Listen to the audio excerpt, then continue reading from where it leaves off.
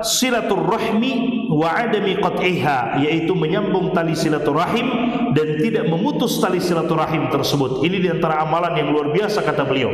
Fa an Anas bin Malik sebagaimana hadis Anas bin Malik radhiyallahu taala anhu qal beliau mengatakan sami'tu Rasulullah sallallahu alaihi wasallam yaqul. Aku telah mendengarkan Rasulullah sallallahu alaihi wasallam bersabda man sarrahu an yubsata lahu fi rizqihi wa an yunsa lahu fi atharihi falyasil yasil rahimahu. Rawahul bukhari wa muslim.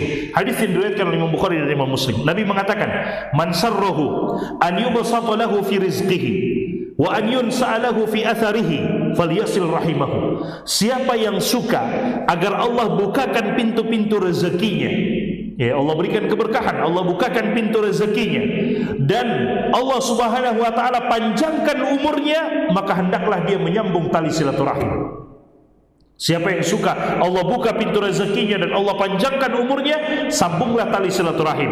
Kata beliau, ya, para ulama kita menyebutkan jemaah sekalian bahwa dibukakan pintu rezeki dan dipanjangkan umur di sini ada dua maknanya.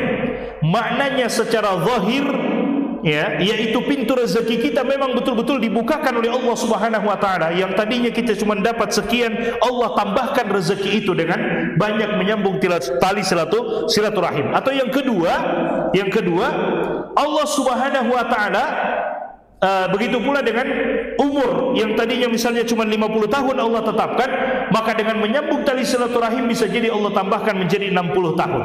Itu makna pertama. Atau makna yang kedua banyak para ulama kita menyebutkan makna yang kedua mereka mengatakan bukan itu maksudnya. Rezeki dan umur itu sudah ditetapkan oleh Allah tidak mungkin berubah. Cuman orang yang menyambung tali silaturahim tersebut akan Allah berikan keberkahan di rezekinya dan akan Allah berikan keberkahan di umurnya. Jadi rezekinya tetap sudah seperti apa yang Allah tentukan. Umurnya pun demikian sudah seperti apa yang Allah tentukan. Tapi Allah berikan keberkahan kepada rezekinya dan Allah berikan keberkahan kepada umurnya. Kenapa? Karena dia menyambung tali silaturahim.